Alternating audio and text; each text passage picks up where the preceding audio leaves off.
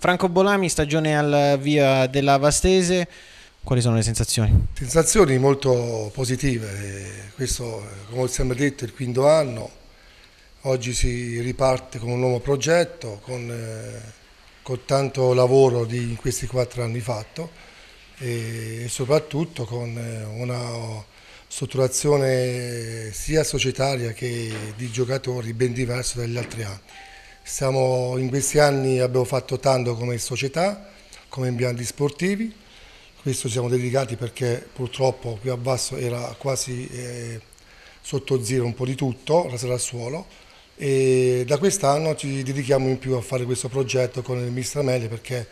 stiamo buttando le basi per portare Basso dove merita.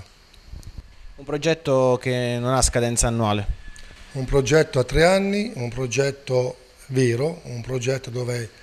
c'è tanto da lavorare perché forse non tutti sanno cosa significa avere una squadra di calcio e ci vuole del tempo.